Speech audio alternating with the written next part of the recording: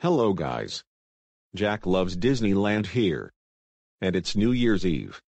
Which means it will be 2020 at midnight. 2019 was a good year for me to make a lot of videos. Both live action and cartoon animated. This is also my last Vyond video for 2019. And I will be making brand new videos in 2020.